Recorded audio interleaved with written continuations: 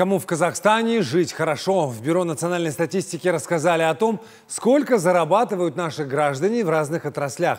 Впереди всех руководителей государственные служащие 372 тысячи тенге в месяц. Меньше всех доход у неквалифицированных рабочих 87 тысяч. Мой коллега Нургали Карабаев сегодня изучал официальные данные. Нургали, добрый вечер. Расскажи, сколько вы хотели зарабатывать наши граждане, чтобы не экономить, и готовы ли работодатели а, поднять минимальные оклады? Добрый вечер, обязательно расскажу. Вопрос зарплаты всегда остается актуальным для наших граждан, особенно с учетом роста цен практически на все. Но обо всем по порядку.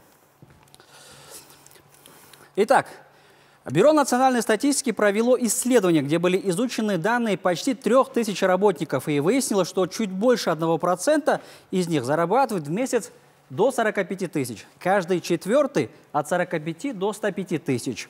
То есть от одной минималки до двух а, с половиной минимальных зарплат. Большая часть опрошенных, 37%, получает зарплату от 105 до 210 тысяч тенге.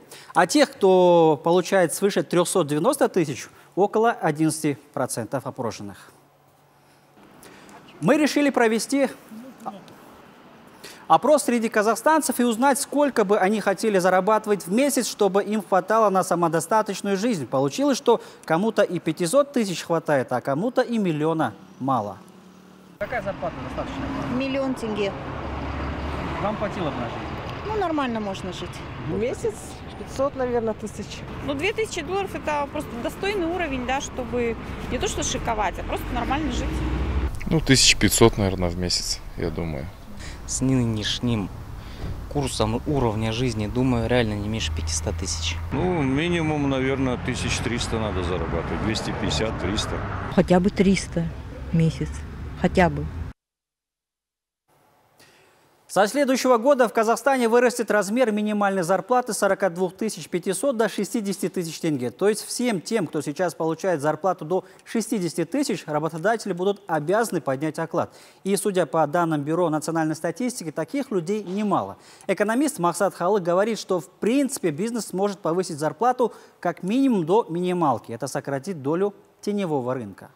Бизнес қазіргі если посмотреть, у нас оказывается порядка миллиона человек получают зарплату на уровне минимальной зарплаты. Но на самом деле я думаю, что это не так.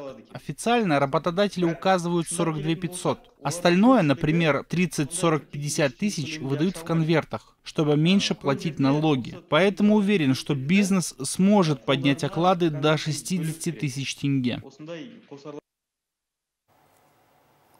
Экономист в целом считает, что даже 60 тысяч в качестве минимальной зарплаты для Казахстана мало. Она должна составлять половину от медианной зарплаты. С учетом того, что ее размер в Казахстане в пределах 150 тысяч тенге, то МЗП должен быть минимум 75 тысяч тенге. Вот такое мнение у людей по зарплатам, Оскар. А, спасибо. Нургали Карабаев рассказала об ожиданиях и возможностях по повышению заработной платы.